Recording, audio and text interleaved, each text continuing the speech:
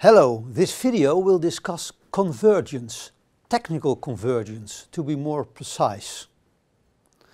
Technical convergence is described as the tendency for different technological systems to evolve towards performing similar tasks.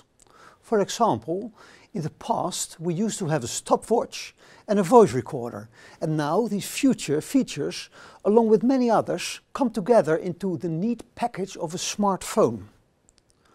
For this MOOC we are primarily interested in convergent phenomena in infrastructures.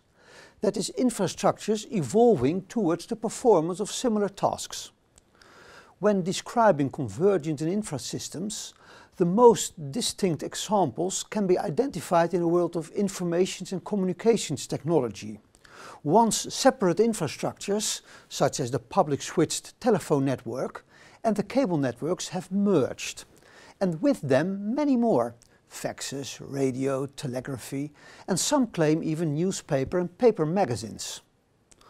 All different types of communications are increasingly provided through one single infrastructure.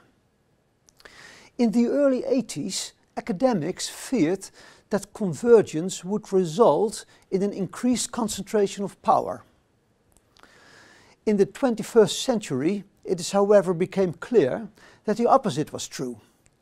Convergence has boosted competition and innovation. Today's world of ICT, media and telecommunications is widely diverse, partly because multiple services can be offered via competing infrastructures.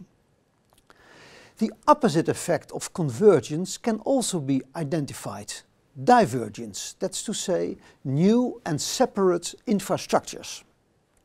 For example, railway systems have evolved into various highly specialized modes of transportation.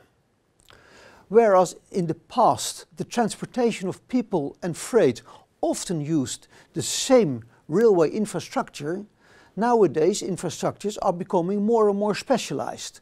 For instance, high-speed railway trains exist which run on dedicated, specially designed straight tracks with sophisticated related technology. The same goes for freight trains, where dedicated tracks have been developed especially for the transportation of goods. Furthermore, we see the development of intermediate train tracks that have been devised specifically for urbanized train traffic. This is also known as the light rail concept, a crossover between a train and a subway system. There are a number of issues that almost always come hand in hand with convergence and divergence in infrastructures. Five of these I will discuss here shortly. First of all, convergence and divergence have an effect on users and company who are using the services provided through infrasystems. This often leads to uncertainty and the question which technologies should be purchased and which not. Secondly, convergence or divergence often lead to the inception of new business models. With convergence or divergence and the new introduction of new technology, new business opportunities arise. New technologies, and especially so-called disruptive technologies, often allow for cheaper or better ways to provide services to customers. The first entrepreneurs who are able to develop new viable business models therewith generate huge first mover advantages. An example is the electricity industry where we see a wide range of services emerging where the use of smart technology allows for a more user-centered and demand-side focus. These transformations from old to new business models due to the convergence or divergence are, are however often inhibited by large existing infrastructure companies who may enjoy advantages such as economies of scale, a large customer base and brand reputation. These large existing infrastructure companies are often called incumbents. Third, convergence and divergence are also connected to processes of liberalization and market evolution. new markets are created and take over the older ones. Think about the decay of the telegraph system or about the huge growth of mobile telephone networks in countries which never had a reliable traditional telephone network. Often the processes convergence and divergence which lead to market liberalization and market evolutions have to be governed by some form of intervention. The reason for this is because our infrastructures serve public interests. Questions that may arise when observing and analyzing convergence and divergence are, for example, how can we enable a transition towards the digitization of our telecommunication sector? Or how can we improve the sustainability of our electricity system? Should governments be allowed to subsidize renewable technologies in power production or is this a form of undesired and market disrupting state aid? A fourth vital ingredient of convergence are the rules and institutions that emerge during the convergence process and that stimulate or delay this process. Of key importance is the creation of technological standards.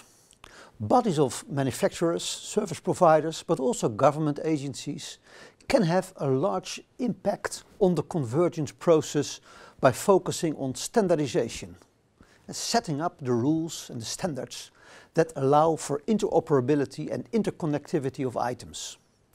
For example, the development of the highly successful mobile GSM standard that has been used all over the world was in no small measure pushed by the European Union.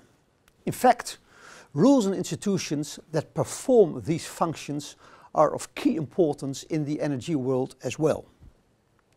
Consider, for example, a new technology, such as the electric vehicle. To allow for a successful large-scale breakthrough of electric vehicles, standardization is an issue. If you've ever traveled abroad, you know how problematic the differences between different electric equipment can be. It is therefore important to standardize and make electric cars interoperable so that they can be plugged into any power grid. To achieve this interoperability, the European Union and the USA are actually collaborating in a Center for Smart Grids and Plug-in Vehicles to establish global standards that may speed up the mass adoption of electric vehicles. A fifth and final ingredient is the issue of regulation. As a result of convergence and, and evolution of infrasystems, roles and responsibilities and public interests change. And this is where regulation steps in. So, what rules should the regulator have?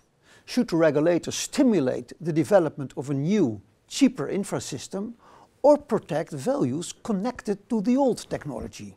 Think, for example, about the ability to connect to the electric or public switched telephone network. In the past, when electricity and telephone networks were introduced in society, the government ensured or promised that rural areas would be connected to the gradually expanding grids. Should this principle remain in place? In the United States, after Hurricane Sandy devastated the public switch telephone network, a debate emerged whether old standards should force telecommunication companies to actually rebuild their old copper-based public switch telephone networks to remote communities or whether they would be allowed to simply provide state-of-the-art wireless connectivity. And what about new rules? For example, should regulators in a more competitive environment be especially interested in issues of customer quality or not? Another problem with convergence for regulation is the blurring or blending of the regimes as two infrasystems converge. For example, the telecommunications industry has been regulated heavily for a long time, whereas internet infrastructures have not.